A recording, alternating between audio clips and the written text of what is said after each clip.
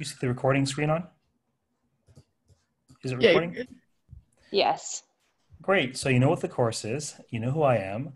Uh, lesson four: uh, Christian beliefs. What does Christianity have to say about death and the afterlife?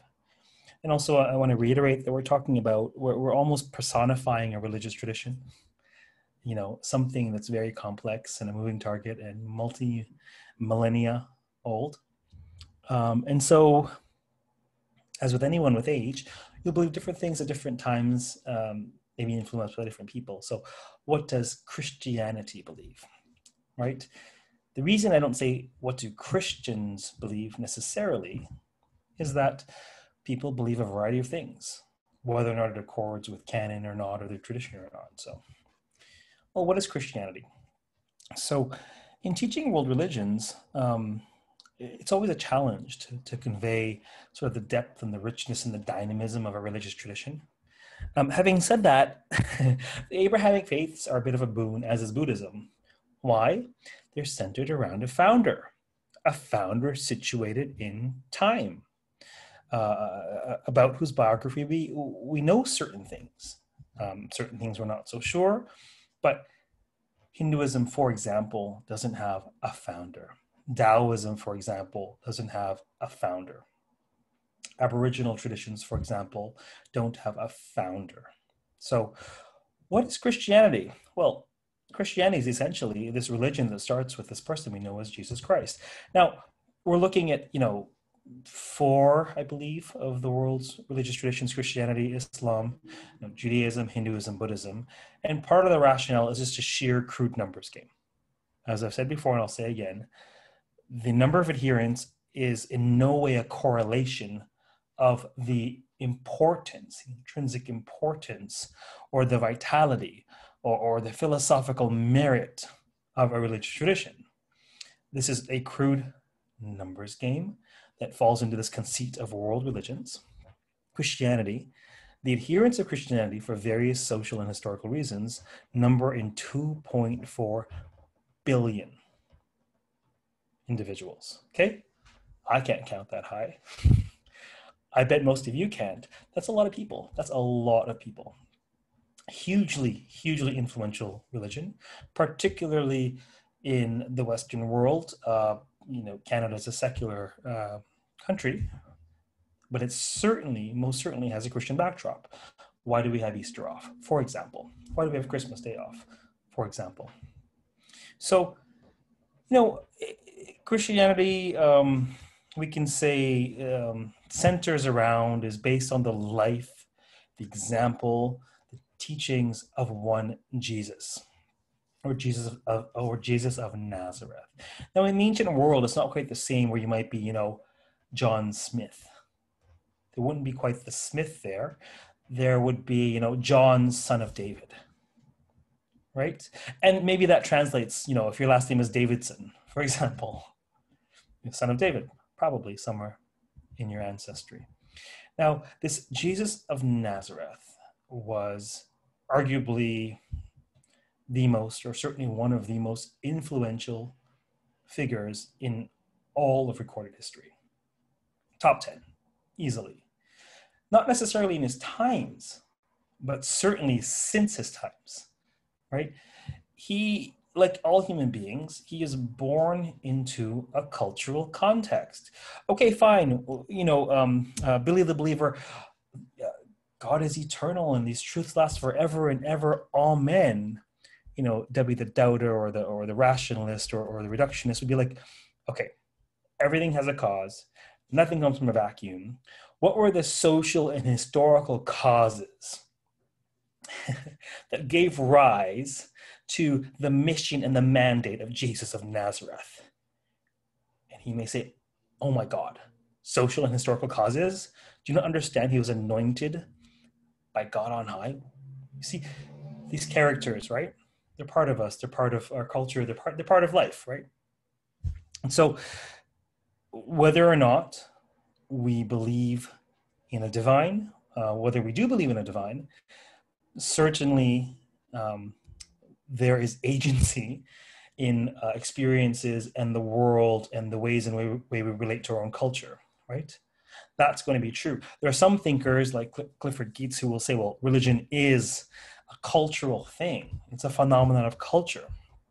There are thinkers, um, um, um, uh, all kinds from uh, religious studies, uh, you know, Mircea Eliade, um, uh, all kinds, who want to say, look, there is a sense of a sacred.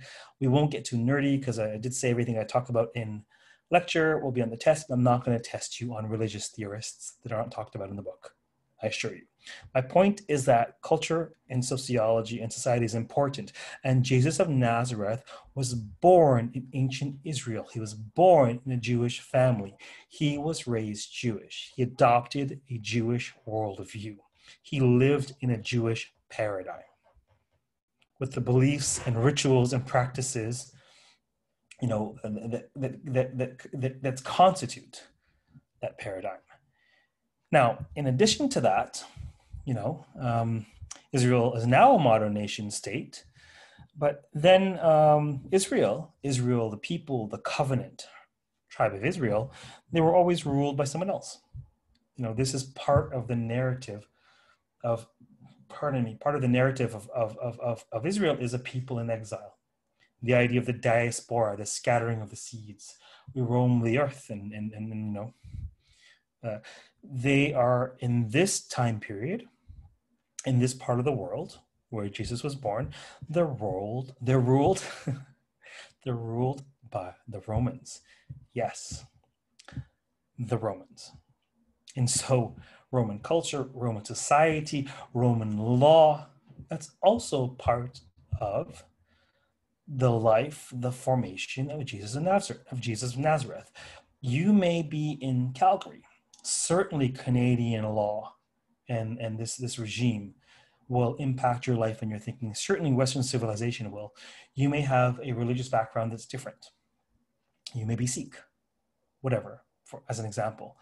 That will also impact who and what you are, right? So there's layers to the onion of the formation of a person, right? This is important to keep in mind. Now, who was this this this this highly influential figure? Um, like who was he? You know, uh, you know, he's no slouch. Clearly, you know, his brain worked, or at least his his ability to to respond or or or, or sort of think in a pedagogic way. You know, he, he certainly, from what we know of him, if the records, uh, if the accounts of him are to be believed, certainly he was a teacher.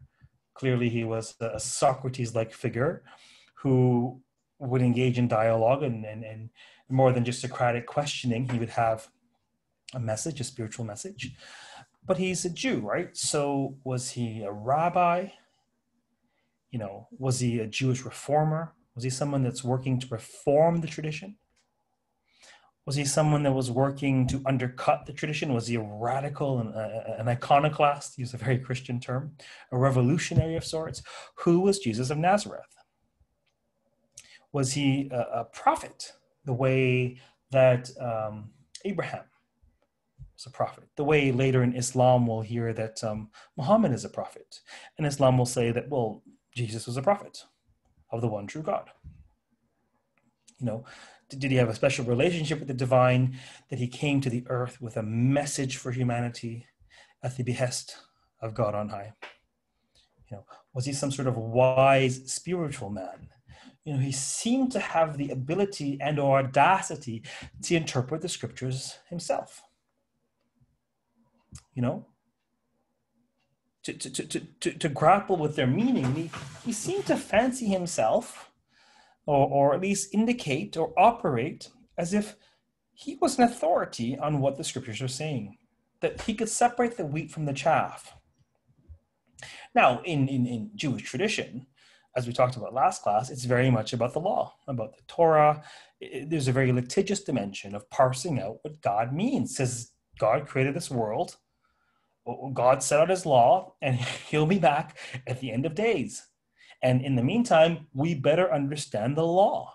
How else are we going to live in accord with the will of God? How else are we going to be saved at the end of days?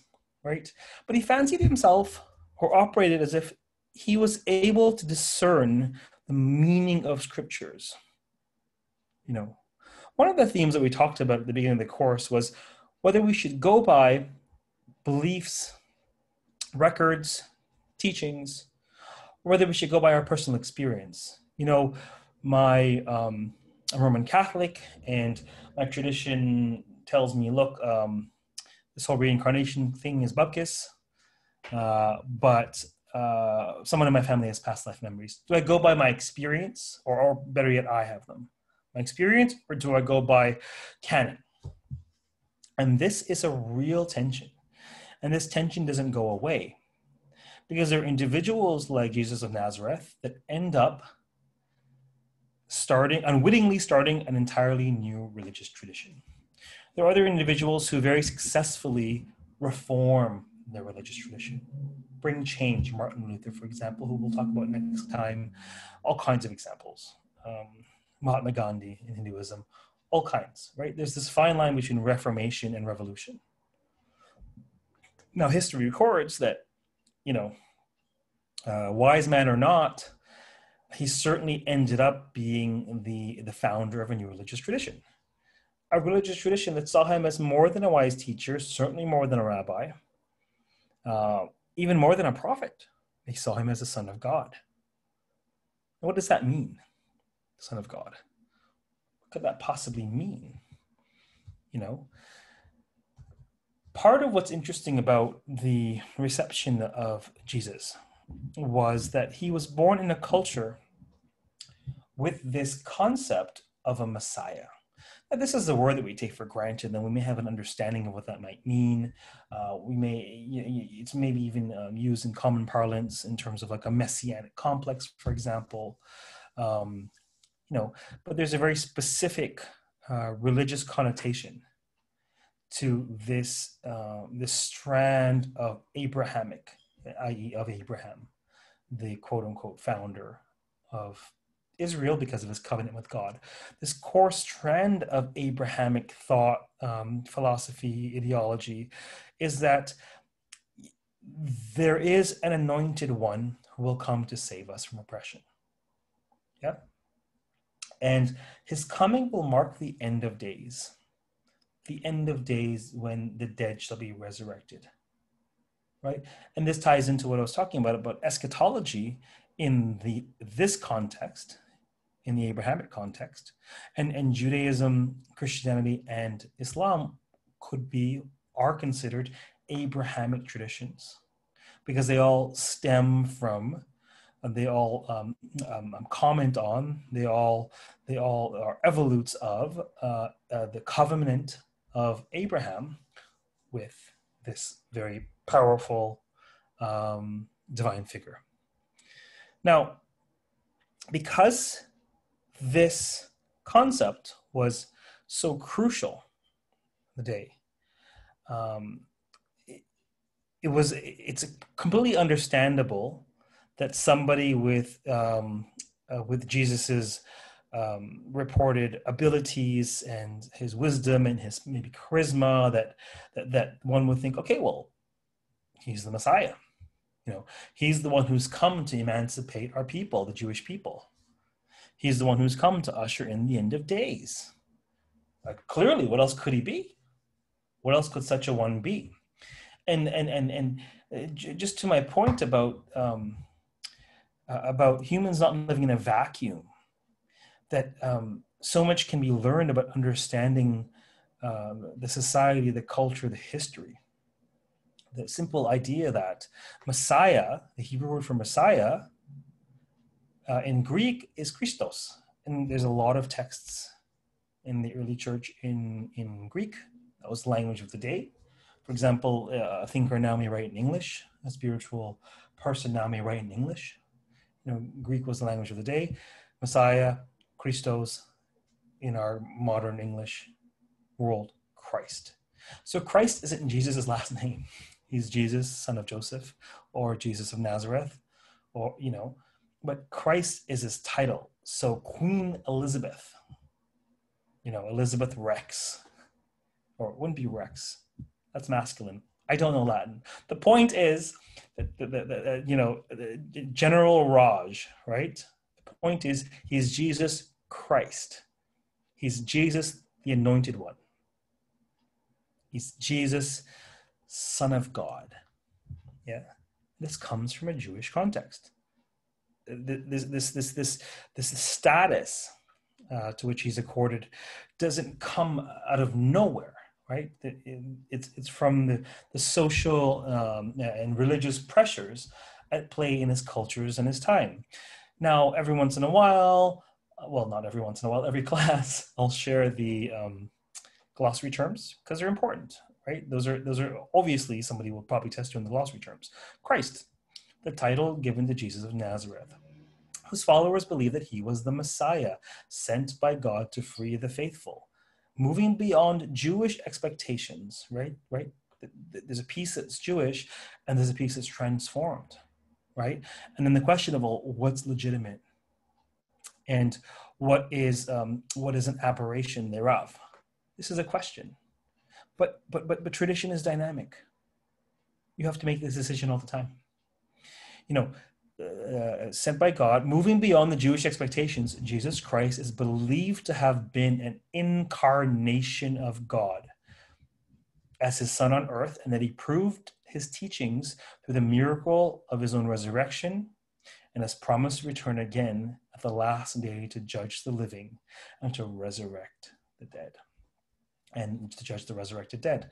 Now, incarnation sort of it sort of calls up in most of us this idea of reincarnation. And this idea, you know, the specific sort of Indian concept of rebirth and karma is very particular, and we'll talk about that. But broadly speaking, reincarnation. Incarnation means embodiment. Think of carnal pleasures of the flesh. Incarnation means being embodied in the flesh. So somehow he was an embodiment of God. This is the sense in which he was the Son of God. You know, as a, as a messenger, as a savior, as an embodiment of God on high. Yeah. Now, what's interesting is that although there is obviously this tradition of of of of, of, of leaning on the of drawing from the, the, this this Jewish idea of of the Messiah, you have to understand in Jesus' time there was no Christianity. so there was no, of course, it was a Jewish idea, right? Now we can say, well, that's a Jewish idea, that's a Christian idea. In Jesus' time, that distinction simply didn't exist. Yeah. So, but, but eventually, we'll talk about more of the history of this in the next class. Today, I want to give you some um, some some major concepts. Um, uh, eventually, what the Hebrews call the Tanakh, the the, the, the Jewish Bible, right? Um, the Christians call the Old Testament. Why is it the Old Testament? Well, because they have a New Testament, right? They have these gospels, these these these accounts of the life and times and miracles and character of Jesus of Nazareth, indeed Jesus Christ. The four gospels, right? The Acts of the Apostles, the Epistles, and the Book of Revelation, which is, you know, hair raising at certain parts. That's a story for another day. Um, so you see, there's this there's this tradition. I'm trying to communicate this idea of dynamism and tradition. It's always changing, right? Pressures, pressures to adapt with the times. Religion is not rigid. Perhaps truth is. Perhaps God is. Perhaps being is. Who knows? Religion, insofar as the aspects of which we can study, is not rigid. If it was, there wouldn't be so many things for you to have to remember. that have occurred throughout the ages. You see? Now, you know, it, it, Jesus was a remarkable individual. Um, you know, one may say, you know, um, you know, you're remarkable. You write so many books. You coach people. You do this and this and this. Great, sure, fine. I don't turn water into wine, right? You know, I do do a fair bit of healing work, but I don't heal. I don't touch someone with leprosy and then they they don't have leprosy anymore. I don't take a couple of loaves and be able to feed the entire city or village or, or, or neighborhood. I certainly can't raise the dead. Right? These are miraculous abilities ascribed to Jesus of Nazareth. Now, Billy the believer is whispering in my ear and saying, What do you mean ascribed? What the hell are you talking about? Those are the miracles of the Lord and Savior Jesus Christ ascribed. What's wrong with you? They're, they're, they're real, they're true. People saw them. We have four gospels, not just one, four people. And they all report having seen these miracles. And you're sitting here telling these students that they were ascribed to him we're not sure. And then Debbie the doubter comes in and is like, well, well, wait a minute. What evidence do we have? We've got these, these, these accounts that are a couple thousand years old. You know, you call them miracles. I call it mythology. Tomato, tomato. There is not a religious tradition on the planet where there isn't some kind of super normal, supernatural powers at play to the key figures of that religious tradition. There's not a religious tradition on the planet where that, that supernatural status of that figure doesn't somehow, somehow confer upon them a, a, a relationship with the divine, supreme spirit, God, whatever. This isn't new. This is just, uh, you know, right? So that can play in your head all you want. I plead the fifth. But uh, unlike Judaism, Christ- Christianity has a, a, a, much more fleshed out understanding of the afterlife that the book talks about. We're all familiar with heaven and hell, right? Like this comes from this period of time where you know hell is is where you go for torment, you know the fires of hell, right? Um, the, the previous Jewish uh, concepts are indeed used. For example, uh, Sheol, you go there for judgment. And then after that, you would heaven or hell, right? So you see there's a, a renovation and innovation to the existing afterlife narrative. There's this sort of there's still this idea of Gehenna or this this sort of these horrors of hell. So you can see that the ideas are shifting and they're folding in materials from Greek ideas, right? But they're not breaking away with Jewish ideas. In fact, you know, the vast majority of Christians will readily spout um, scripture from the Jewish Bible and or the Old Testament. Right? So heaven, the state of being with God, obtained after resurrection by those who have committed themselves to following the teachings of Jesus Christ. See, attain, obtained after resurrection. One needs to preserve this idea that, well, we're going to be sort of in suspended animation or something or somewhere forever and ever until we're all resurrected at the end of days. At that time, the righteous will go to heaven and the unrighteous will, guess what? They'll be damned, literally. They're going to go to hell.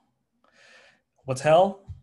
Well, it's the state or place of eternal damnation expressly mentioned by Jesus in the Gospels as the fate after resurrection of those who do not follow him. This is key. It's not like, oh, I die and I go to the pearly gates or, or not. It's I die and I'm in suspended animation or something. Or we're waiting until the end of days when our ultimate fate is tied to the ultimate fate of this universe that was consciously created by this one God, as I narrated to you in the book of Genesis uh, last class. Yeah, this is important. Well, you know, purgatory. Well, what the heck's that? Purgatory, the state described by the church fathers. We'll go into this next class. I just wanted to give you all of the terms in this class. We'll talk about the church fathers next class. The state described by the church fathers, see this is a later development. It's dynamic, right? As the temporary fate of all people after death, during which the dead are punished by degrees to purge and purify them, for the coming resurrection in heaven or eternal damnation, as the case may be. Well, this idea, well, when heaven, hell, like, so what? I stole some bread, I murdered somebody. Like, is it the same for everybody? Right? There need it, it can't be a switch. It has to be a dial on some level. Yeah, like it has to be a little more nuanced than that. You know, so this idea of purgatory. You know, comes along. Now, the afterlife is. You know jesus describes the afterlife as as as difficult the, the, the, the, heaven whatever we conceive that to be to be in the lap of the lord is not an easy task it's not something that somebody can just chance upon by being an unthinking oaf it's something that takes some kind of scrupulous attention some care it's a narrow path it's the razor's edge that you're made to tread upon right? The path to heaven is narrow. Enter ye in at the strait gate. For wide is the gate and broad is the way that leadeth to destruction, and many there be which go in thereat. Because strait is the gate, and narrow is the way which leadeth unto life, and few there be that find it. This is the narrow path of the few who are able to conduct themselves virtuously in some way, shape, or form in accordance to the teachings. Yeah. And, you know, the masses are going to hell. this is what he's saying. He's saying this is a narrow gate. You know, all have an opportunity. Few, few take the opportunity. And so few get this reward because the reward is the result of work is a result of care. It's a result of exerting, uh, exerting yourself in accordance with scripture, with teachings, of examining your life, right?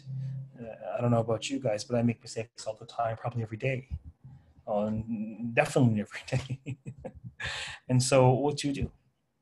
You know, what do you do with those mistakes? Do you allow them to become toxic patterns and habits? Or do you find a way to accord yourself with this vision of virtue or piety that constitutes a narrow path, the stairway to heaven, as it were. What makes it to heaven? You know, I just wax poetically about, you know, the virtuous person, whatever that means, you know, right? But the person who, who, who sort of, uh, who conducts themselves with some kind of dignity or nobility or virtue, piety, um, uh, you know, uh, uh, uh sort of adhering to religious values, such a one, but there's so much discourse in um, the Gospels about heaven is also for the poor and the downtrodden. This is a really interesting concept, I think. It's like the poor and the downtrodden are suffering here, and so they'll have the reward because they've kind of paid their dues. Now, there'll the doubter may say, well, wait a minute. There's lots of poor, downtrodden people that are despicable and there's some rich people who are nice and kind and generous. Wait a minute here. But but but the, but the narrative is such that the righteous and the downtrodden will, will will make it into those narrow gates of heaven. Blessed are the poor in spirit, for theirs is the kingdom of heaven. Blessed are the meek, for they shall inherit the earth. There's this narrative that uh, very interesting narrative between the rich man Dives and the and the, and the poor man Lazarus, um, and they they both go to heaven, and, and one gets rewarded in the other. And Abraham says to Dives, you know, isn't this interesting, right? It's put in the mouth of Abraham. Son, remember that thou in thy lifetime receivedst thy good things, and likewise Lazarus evil things, but now he is comforted, and thou art tormented you know, on the one hand, we could say, well, well, this makes sense. Surely the people who, who assuming justice, assuming an ultimately just figure at the head of the the world, uh, the universe, even that. Uh, well, certainly the, those who have suffered will get their, their, their reward, and those who have been indulgent or, or sort of un, you know, uncaring in some way, unthoughtful in some way, that they'll, they'll sort of receive their, their damnation. Uh, and you know, if you were more cynical or skeptical, you may say, well, of course, this is the marketing message of someone marketing a message to the downtrodden. You know, you're not going to get followers on behalf of, you know, uh, the, the in crowd that's liking Judaism just fine. You may get some followers among people who are downtrodden. You know, what I'm saying is that these are the different kinds of questions or, or considerations that occur to people when they study religion you know, uh, we talked about this uh, last class, but specifically the end of days, the rapture. The idea that believers living and dead will be carried to heaven immediately before, perhaps during the end times, during after the Armageddon. Resurrection, following Jewish tradition, the belief that the dead will be raised and again in a new body, body at the final judgment at the end of time debate has raged over whether this resurrection will be spiritual or physical one. There's lots of debate. There's no shortage of debate on that.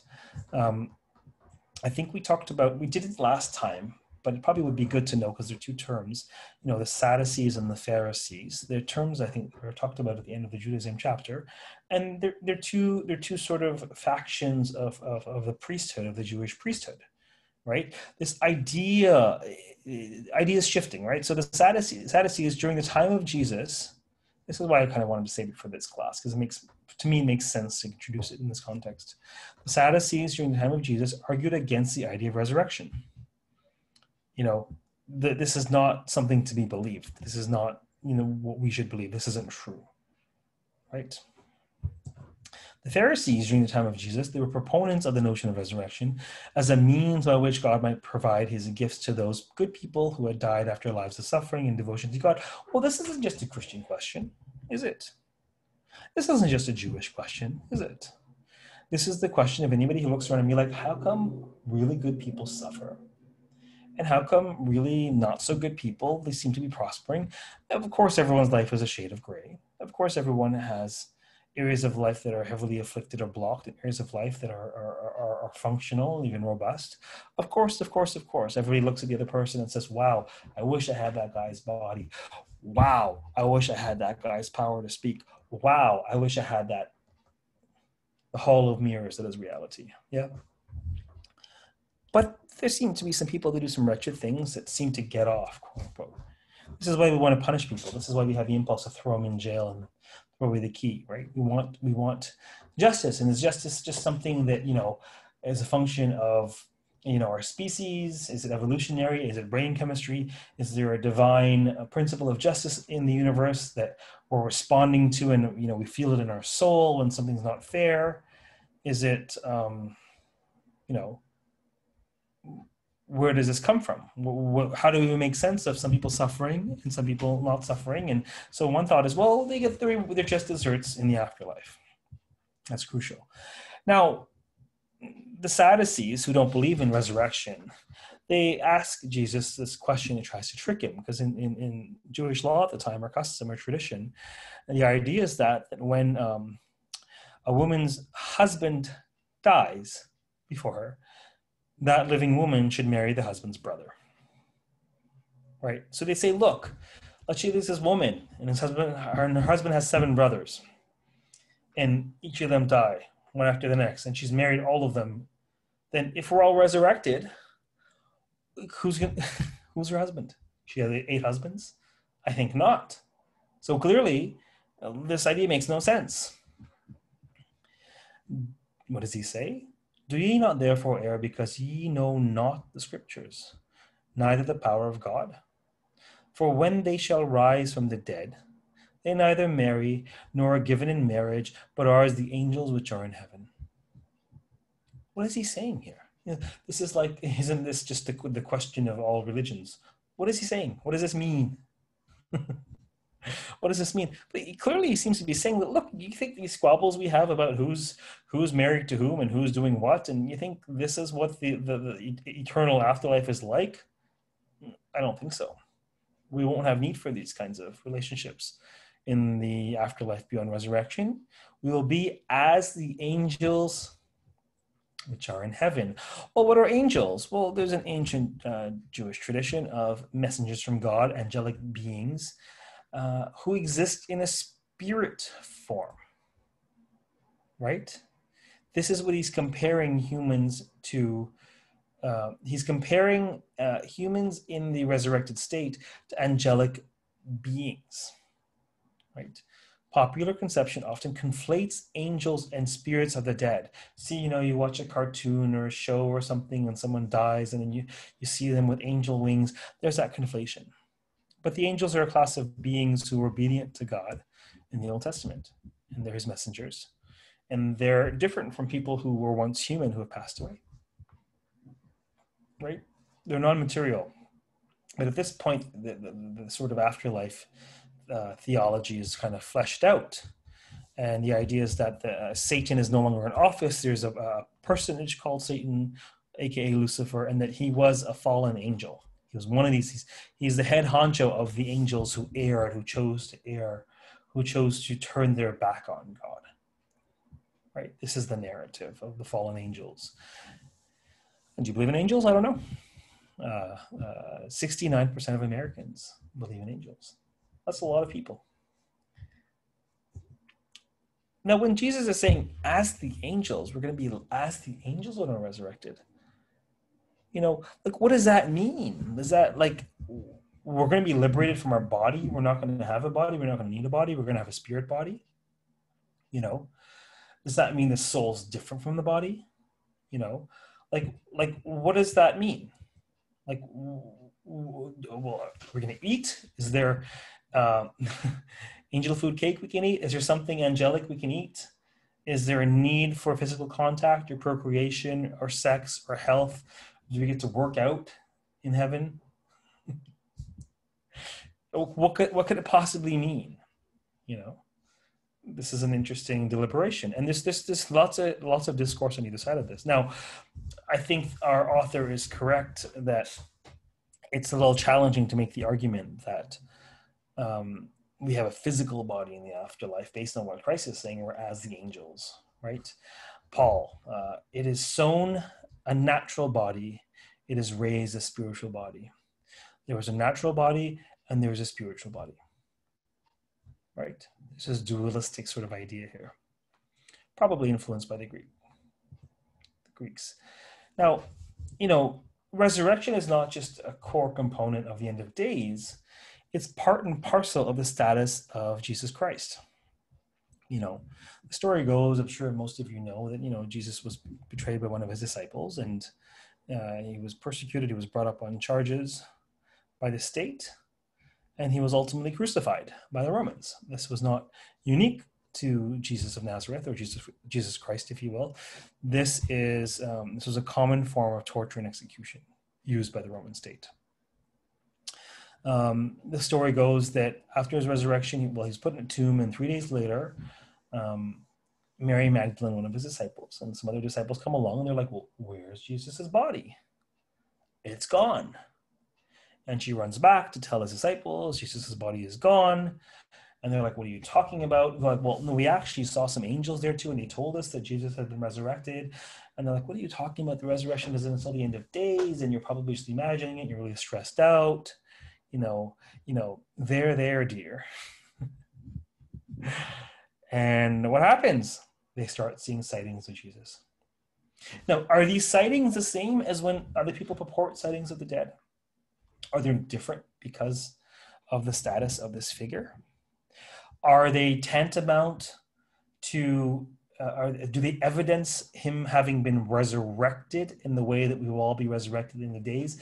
Is because he's the son of God, he was resurrected first, and he's sort of now, you know, here presiding over the earth plane until the end of days. Right? Is this is this the fate we will all endure? Will we all have this sort of this this this this this this disembodied state? Um, or this sort of spiritual body, or will be, will it be sort of very much like our actual body where we can eat? You know, we may have enjoy pleasure, right? We may have complex relationships what's that like? That's crucial, right? But for Christianity, Jesus of Nazareth is Jesus Christ because he's a fulfillment of the promise of a Messiah from the Old Testament. He's also an exemplar, a moral exemplar on how to behave uh, on earth, right? In that part of the world, because of his status, because of his exemplary conduct, uh, like his forbearance at the time of his trial, his ability to forgive um, Judas for betraying him, because of his sort of moral for- fortitude, and because of his purported miracles. He was seen as certainly someone special, certainly someone anointed by God. You know, someone that was part of God's plan, someone who didn't die when he died.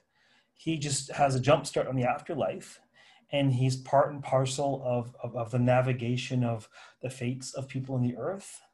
He's part and parcel of that path towards righteousness at the side of God that you can steer your life towards if you so choose. Because, like the angels who had choice, we too have choice and we can steer however we want. You know, he was more than a great teacher in the Christian context, he was more than a rabbi. Perhaps he was a revolutionary, perhaps he was a reformer, but he was more than that. He was Jesus Christ, anointed by God. Next time, the second half of the chapter, we'll talk about Christian theology. We'll talk about St. Augustine, St. Thomas Aquinas, two important theologians, Christian thinkers. We'll talk about Martin Luther and his radical revolution, and we will talk about Gnosticism and some very interesting mystical spiritual beliefs. And that's a wrap for today. I'll be taking Q&A as soon as I figure out how to stop share.